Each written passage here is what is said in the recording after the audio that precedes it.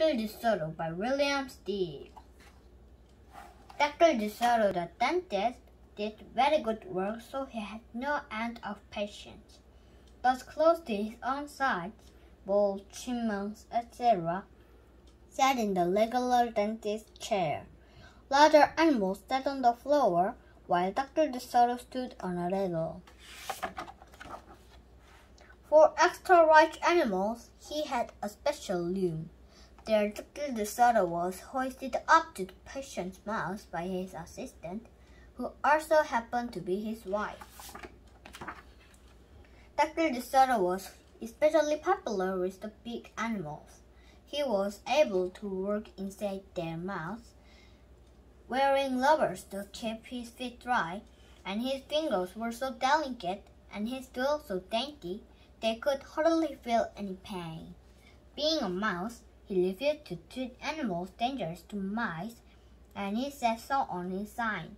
When the doorbell rang, he and his wife would look out the window. They wouldn't admit even the most timid-looking cat. The Dr. DeSoto dentist. Cats and other dangerous animals not accepted for treatment. One day, when they looked out, they saw a well-dressed fox with a flannel bandage around his jaw. I cannot treat you, sir, Dr. DeSoto shouted. Sir, haven't you read my sign? Please, the fox wailed. Have mercy, I'm suffering. And he wept so bitterly it was pitiful to see. Just a moment, said Dr. DeSoto. That poor fox he whispered to his wife. What shall we do? Let's risk it, said Mrs. DeSoto. She placed the buzzer and let the fox in. He was up the stairs in a flash. Bless your little heart, he cried, falling to his knees. I beg you, do something. My tooth is killing me. Sit on the floor, sir, said Dr. DeSoto, and remove the bandage, please. Dr. DeSoto climbed up the rail and bravely entered the fox's mouth. Ooh, wow, he gasped. The fox had a rotten bicuspid and unusually bad breath. This tooth will have to come out, said Dr. DeSoto. Dr. DeSoto announced. But we can make you a new one.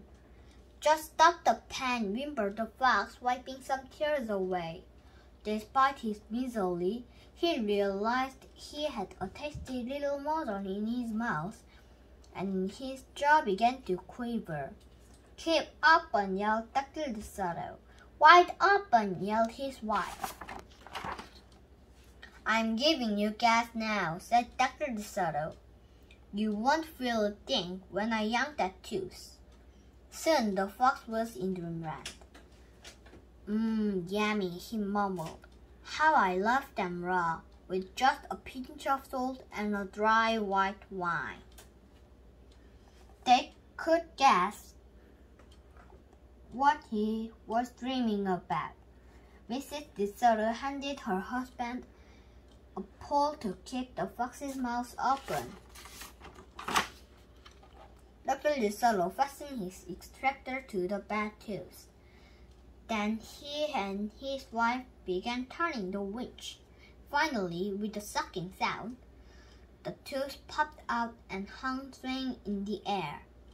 I'm bleeding, the fox yelled when he came to. Dr. DeSoto ran up the riddle and stuffed it some gas in the hole. The worst is over, he said. I'll have your new tooth ready tomorrow. Be here at 11 sharp. The fox tailed Uzi and goodbye and left. On his way home, he wondered if it would be shabby of him to eat the DeSotos when the job was done. After office hours, Mrs. DeSoto molded a tooth of pure gold and polish it. Low, low result indeed, muttered Dr. DeSoto. How foolish to trust the fox. He didn't know what he was saying, said Mrs. DeSoto. Why should he harm us? We are helping him. Because he's a fox, said Dr. DeSoto. They are wicked, wicked creatures. That night the DeSotos lay awake worrying. Should they let him in tomorrow? Mrs. DeSoto wondered. Once I started a job, said the dentist fondly. I finished it. My father was saying the same way. But we must do something to protect ourselves, said his wife. They talked and talked until they found a plan. I think it will work, said Dr. DeSoto. A minute later, he was snoring. The next morning, promptly at eleven, a very cheerful fox turned up. He was feeling not a particle of pain. When Dr. DeSoto got into his mouth, he stepped it shut for a minute, moment, then opened wide and left. Just a joke, he chortled. Be serious, said the dentist soberly. We'll work to, we have work to do. His wife was loading the heavy tools up the ladle. Oh, I love it, exclaimed the fox. It's just beautiful. Dr. DeSoto set the gold tooth in neat socket and hooked it up to the teeth on both sides.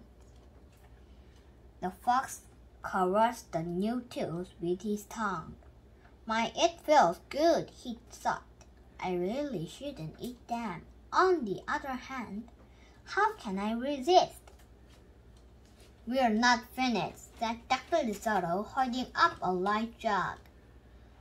I have here a remarkable population developed only recently by my wife and me. With just one application, you can be rid of toothaches forever. How would you like to be the first one to receive this unique treatment? I certainly would, the fox declared. I'd be honored he hated any kind of personal pain. You will never have to see us again, said Dr. DeSoto.